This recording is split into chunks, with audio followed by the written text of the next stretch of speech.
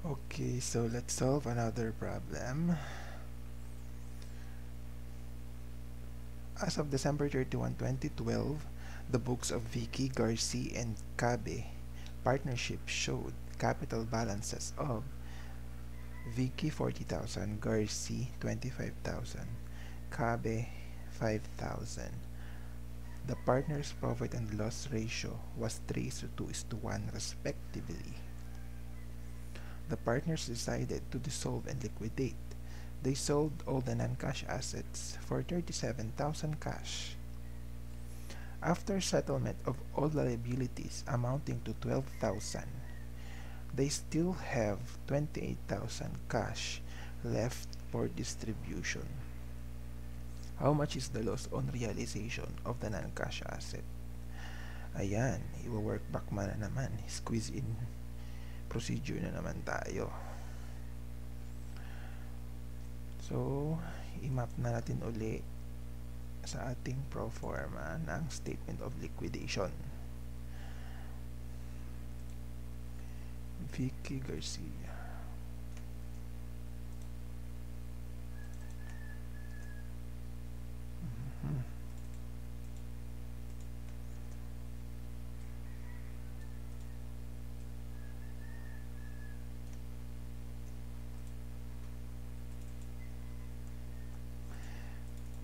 Ayusin lang to guys.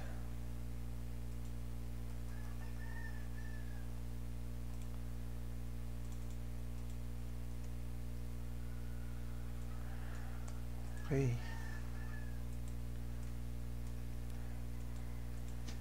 And then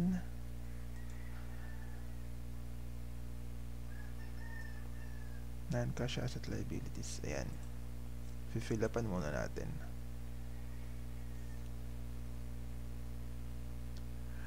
40 capital ni Vicky. Garcia. Si Garcia 25 kay Cabe 5,000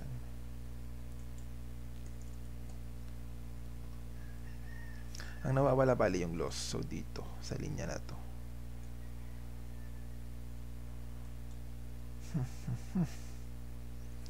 Three is to two is to one. Three is to two is to one. So six over six. They sold all the non-cash for 37,000 cash. So may add ng 37,000 cash. Missing yung figure ng non-cash asset. After settlement, after settlement of 11 of all liabilities amounting to 12,000. So 12,000 ang liabilities. Sa linya ng payment of liabilities. So, minus 12,000 sa cash. They still have 28,000 cash left for distribution. They still have 28,000 cash left for distribution. So 28,000 cash left for distribution. 28 mali. Dapat 28 ito. Itong cell C16 dapat siya maging 28 so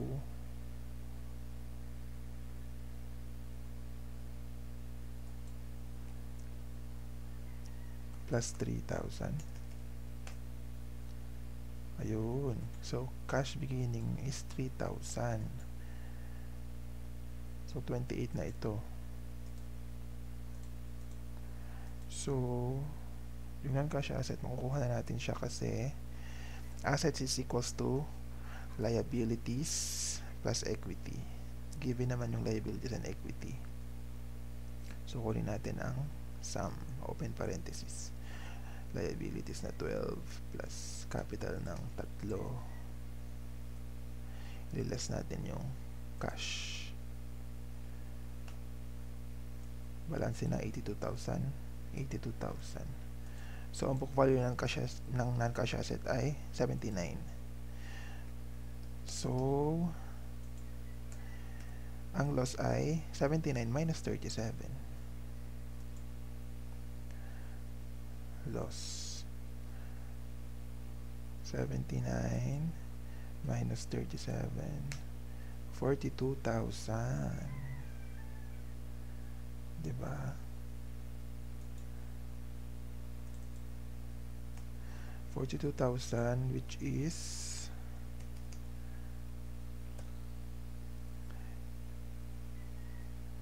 i-distribute natin sa partners. Times 3 over 6 for Vicky. For Garci 2 over 6 for Cabe. Be palitan lang natin yung fraction niya ng 1 over 6 okay so dapat negative siya copy paste paste as values para wala yung formula input ng negative sign put ng negative sign. Ayan. So, nag-negative. May capital deficiency.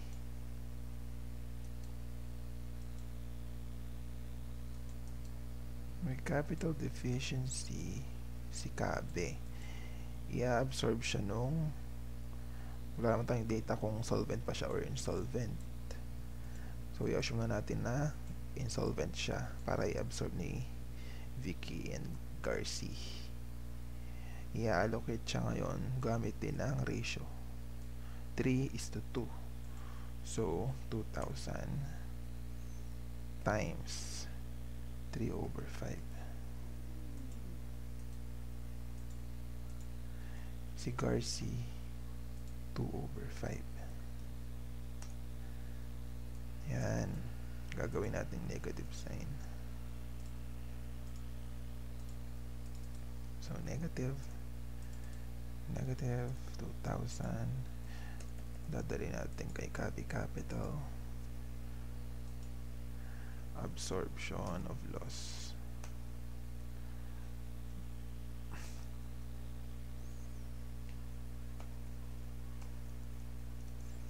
absorption of CABE capital deficiency by Vicky and Garci huwag na masyadong haba balances ulit. Okay So, ito na yung settlement. 17,800 kay Vicky. 10 10,000 mali ito. 10,200 para kay Garci yan So ito.